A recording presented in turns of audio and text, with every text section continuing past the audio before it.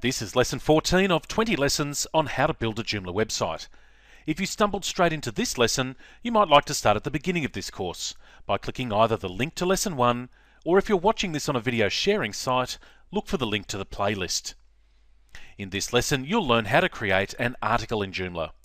Start by logging into Administrator and then click on the button labelled Article Manager. If you installed the sample data, you'll see several articles listed. Create a new article by clicking the New button at the top. Then enter a heading for the article in the title box.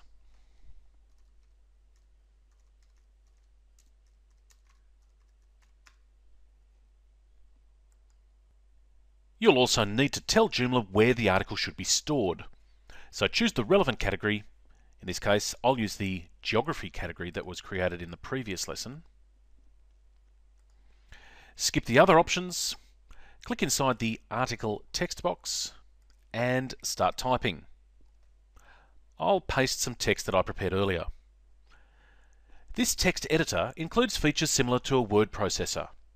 For example, you can highlight some text and make it bold by clicking the B.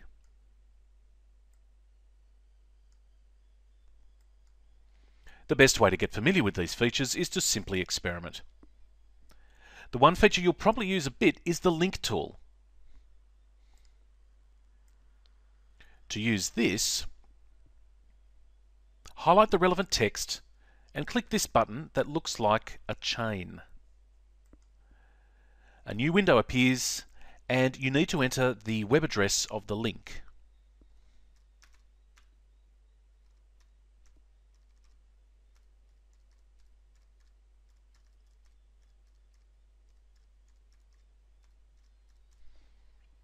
You don't need to set anything else, so click the Insert button and the pop-up window disappears.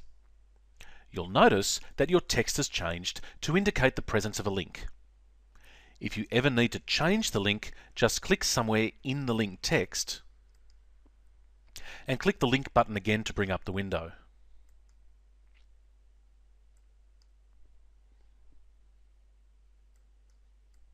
When you're done, click Save and Close to return to the Article Manager. Scroll down to the bottom of the page and you'll notice that there are navigation buttons that link to other pages within Article Manager. You can click the Next button here to view the next set of articles. By default, 20 articles are displayed at a time. By changing the setting in the Display drop-down menu,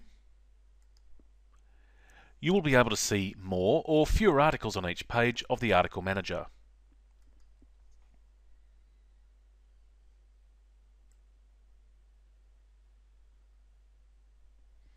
As your site grows, it becomes more difficult to find the article you want to manage, so Joomla provides some filtering.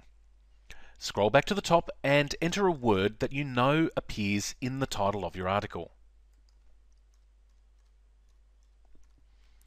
Click the Search button to view the results and click the Clear button to return to the full list. You can also filter by category.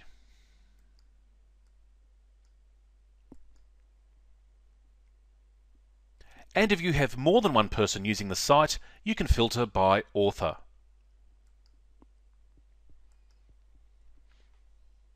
Articles have a feature where you can unpublish them, which hides them on the front end, and you can filter the list using this feature too.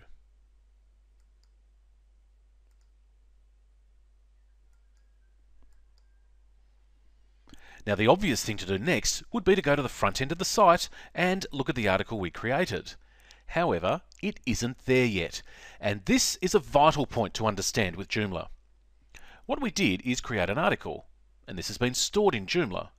However, there are several ways to display content, and so there is a final step to perform. In the next lesson, I'll show you how to display content by creating a menu.